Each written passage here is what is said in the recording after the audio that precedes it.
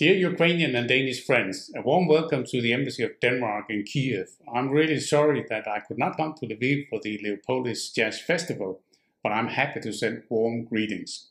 This year's festival is particularly important. After more than a year of lockdown and restrictions, this live festival is almost like a liberation. I'm very pleased that one of the most exciting and refreshing new Scandinavian jazz composers and arrangers in many years Katrine Windfeld is one of the highlights of the festival.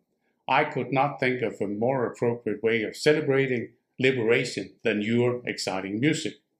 And let me take this opportunity to share a piece of very good news about Danish-Ukrainian relations, including in music. Soon the Danish Cultural Institute and the Danish Youth Council will open a Danish-Ukrainian youth house in Kiev. And I happen to have the director of the youth house, Julie Arnfred Bojesen with me today. So over to you, Julie. Thank you very much, Mr. Ambassador. I'm very happy to be here today, and I'm very happy to be in Ukraine, getting the Ukrainian Danish Youth House started. Our main goals are to strengthen uh, democratic participation between young people and also to strengthen the relations between Ukrainian and Danish youth.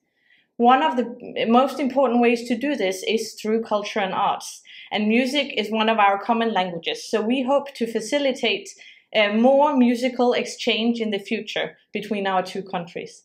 So enjoy the festival, enjoy the music, and enjoy your weekend.